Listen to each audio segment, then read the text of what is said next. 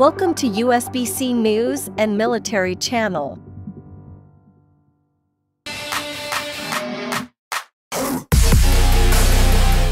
The Russian guided missile, ATGM, on top of the building kills a Ukrainian sniper during the battle for the Bakhmut area.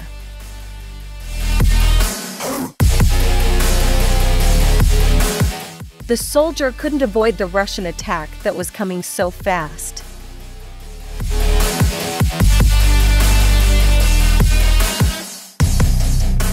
The next video shows a NATO tank unit being destroyed by Russia's Kornet 9 M133.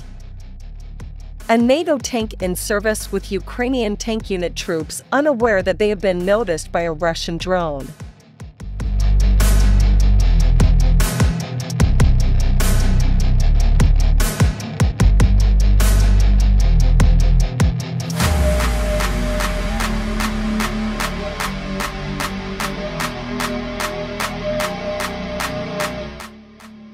And here are some other videos showing the attack of the Russian army near Bakhmut, the Ukrainian troops left fighting.